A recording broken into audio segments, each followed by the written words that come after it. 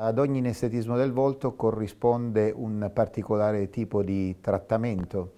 e diciamo che possiamo iniziare con dei trattamenti soft a base di acido ialuronico o anche di tossina botulinica per l'attenuazione di inestetismi tipo rughe frontali, rughe periorbitarie, inestetismi quali un aumento del volume zigomatico, aumento del volume delle labbra e così via.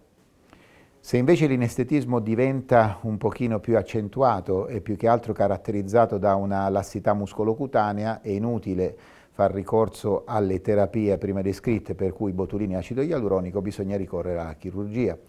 La chirurgia ci viene in aiuto grazie a interventi ormai codificati con dei risultati standardizzati e stiamo parlando di lifting del volto. Lifting del volto è un intervento che si esegue in anestesia locale sedazione, per cui eseguibile in qualsiasi eh, fascia d'età senza rischio,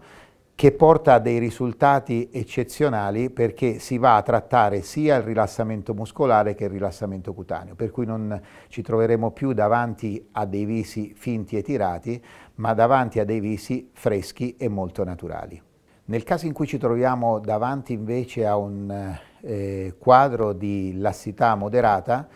eh, possiamo ricorrere agli ultrasuoni focalizzati che ci vengono in aiuto per curare questi iniziali inestetismi, soprattutto riguardanti il terzo inferiore del volto e anche gli inestetismi del collo. Gli ultrasuoni focalizzati non è un sostituto del lifting, ma può essere una valida alternativa quando ancora l'inestetismo non è pronunciato oppure per persone che non intendono proprio per scelta propria eh, approcciarsi alla chirurgia.